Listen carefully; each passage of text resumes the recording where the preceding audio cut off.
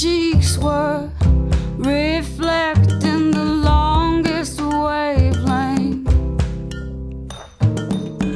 My fan was folded up and grazing my forehead.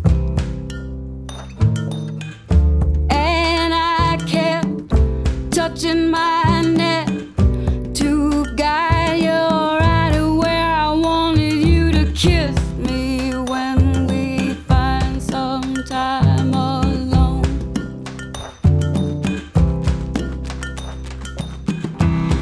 Scar